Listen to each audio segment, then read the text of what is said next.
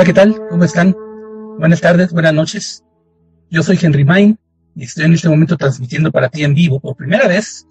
Espero que esta primera vez sirva para darte una idea de qué es lo que pretendo hacer con estas transmisiones que tengo intención de realizar ocasionalmente, con el fin de difundir un poquito más acerca de los conocimientos que en Lendo hemos tenido, que nos han llevado a conocer mejor a las personas, las cosas, la vida, y sobre todo para ayudarte a dar un paso adelante en tu camino de conocimiento, de desarrollo de conciencia, de unificación. Hoy quisiera presentarte, si no lo conoces, a uno de mis grandes hermanos, a Yogananda. Él escribió muchos libros, miren, ya asoma uno de ellos aquí. Nació en la India llamándose Mukunda Lal Ghosh. Un nombre extraño, ¿verdad? Pero qué tan extraño no puede sonarle nuestros nombres a los indios a los habitantes de la India, con eso me refiero. Y los quieres decir así también a los hindúes. Pues un tanto extraños nos debe de, resultar a nosotros el nombre de ellos como a ellos el de nosotros. Pero efectivamente, Mukunda Lal Ghosh recibe la encomienda de su maestro de venir a América, y me refiero con América a todo el continente, para transmitirle a los occidentales, sobre todo a los americanos, a los estadounidenses más propiamente primero, lo que es el conocimiento del yoga, que en la India ha estado resguardado desde hace milenios. Y por eso a él se le llama Yogananda. Él transmitió el yoga de la India a América. Y cuando estuvo aquí y lo desarrolló, pues él escribió muchos libros, tantos libros como muchos de ellos apenas todavía se están empezando a traducir y a publicar. Quiero sacar de mi biblioteca a uno de esos libros, que es este. Se llama La Segunda Venida de Cristo te lo presento. Y mira, ve el, grosor del mismo. Hasta ahorita son tres volúmenes ya publicados en español de este libro, que tienen tantos temas tan importantes, tan interesantes, que la verdad no podemos pasarlos por alto. Hoy quisiera entonces platicar contigo un poquito, leyéndote extractos de este libro, donde Yogananda nos habla del alma, pero de su relación con el cuerpo, específicamente hablando de cómo la voluntad se desplaya, se explaya, se eh, extiende desde el cuerpo y desde el alma sobre todo. Te voy a leer entonces extractos y espero que, que te parezca bien este ejercicio, que por primera vez ejercito contigo. Nos dice Yogananda, dado que el alma ha descendido a la materia desde el espíritu y ha convertido el imperfecto cuerpo en su parque de diversiones, y lo dice entre comillas, parque de diversiones, y es importante, es que es un juego. Estamos viviendo un juego de separación. No es real. Solo el amor es real. Pero a nosotros ese juego de separación nos parece real porque estamos en un cuerpo.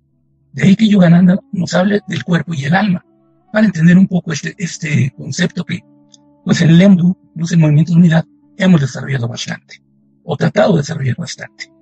Así nos dice entonces que el cuerpo es un parque de diversiones. Y dice además, es preciso establecer en la mente la perfección del espíritu y del alma para que ésta, antes enredada en el cuerpo, exprese su naturaleza divina dentro del cuerpo y a través de él. Qué bonita meta, expresar la naturaleza divina del alma en el cuerpo y estando dentro de él. Él nos dice que esto se logra por medio de un total dominio de la mente sobre el cuerpo. Debe ponerse de manifiesto la inmortalidad del alma, la ausencia de enfermedades y la felicidad inmutable. ¿Qué metas, verdad? ¿Qué metas? ¿Quién no quisiera esto de verdad? Pues nada más ve, la ausencia de enfermedades, la felicidad inmutable y la inmortalidad del alma expresa en el mundo, en el juego de separación. ¿Y cómo se logra esto? Bueno, miren, Yogananda nos dice un poco al respecto. Abunda diciendo lo siguiente. La inteligencia del hombre, reflejo de la inteligencia divina, controla los átomos mismos de su cuerpo. La conciencia cósmica de Dios que fluye a través de la batería del alma provee de energía a la mente. Es el poder de la voluntad que ejerce la mente el que extrae la fuerza vital, creativa, consciente o la palabra de la dínamo invisible de energía cósmica y la hace fluir hacia el cuerpo a través del bulbo raquídeo o boca de Dios. El bulbo raquídeo, esta parte del cerebro, él le llama la boca de Dios. ¿Qué tal que por ahí se expresa Dios en nosotros también? Se habita en el corazón, pero en cuanto a manejo del cuerpo y expresión del mismo, inteligible, es por medio del bulbo raquídeo, que es la boca de Dios.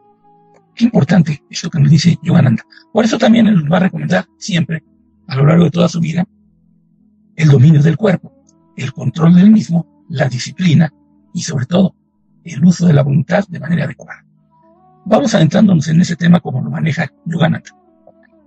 Él nos dice, la voluntad es la que espera el interruptor que controla el flujo de energía hacia el cuerpo. La espera y la opera también. Para realizar cada movimiento es preciso un acto de la voluntad que le suministre energía. Y aquí estamos hablando ya nuevamente de lo que siempre hablamos, energía. Pero energía también es conciencia, y lo vamos a ver. El simple hecho de levantar una mano implica inyectar energía y conciencia en el sistema entero. Eso hacemos, eso sí. Cuando no se tiene buena disposición para realizar una tarea, se experimenta, se experimenta fatiga desde el comienzo. Por el contrario, si existe buena disposición, uno se siente lleno de energía, se pasa, está uno lleno de energía, con buena disposición. Quien lleva a cabo todas sus tareas con diligencia e interés, comprueba que le es posible alimentarse incesantemente de la fuente de energía cósmica. Así que lo que nos dice Yogananda es importante. Cuando nos sentimos cansados es porque no estamos haciendo con voluntad correcta las cosas. Quizá las hacemos como un títere que es movido por un reflejo condicionado o un criterio de obligación de hacer ciertas cosas. Pero cuando le imprimimos voluntad, que esta es una naturaleza y cualidad y esencia y manifestación del alma en el cuerpo, todo es diferente y la fuente de energía es inagotable. Aquel que permanece apáticamente pasivo y se niega a emplear la voluntad para afrontar todas las obligaciones y desafíos, desafíos de la vida, como algunos dogmáticos que interpretan equivocadamente las palabras de Jesús que decía, no se haga mi voluntad sino la tuya, impide que llegue al cuerpo y libre el flujo de las fortalecedoras corrientes divinas. Fíjense, se impide el flujo de las fortalecedoras energías divinas. La muerte del cuerpo se produce cuando se paraliza la voluntad de vivir, debido a enfermedades que nos incapacitan o a otras dificultades. ¿Qué es entonces la enfermedad? Una falta de voluntad de vivir, pero de vivir correctamente, con la voluntad divina por delante. No solamente por querer estar aquí, que muchas veces muchos no quieren ni por eso estar aquí, ¿verdad? Porque no viven con voluntad divina. ¿Se acuerdan que Jesús lo decía? Hágase, Señor, tu voluntad en la tierra como en el cielo. O como decía aquí, no se haga mi voluntad, sino la tuya. Citaba Yogananda a Jesús. Esto debe ser bien comprendido. Más adelante nos dice, para que el ser humano recargue las células de su cuerpo, que no son sino celdas eléctricas, solo se requiere el poder de la voluntad. Una persona que ayune con prudencia por un tiempo prolongado, advertirá que siente una necesidad cada vez menor de alimento y que es otra cosa lo que sustenta su cuerpo. Otra cosa lo que sustenta el cuerpo. Con voluntad se empieza a sentir así. Con voluntad correcta, voluntad divina.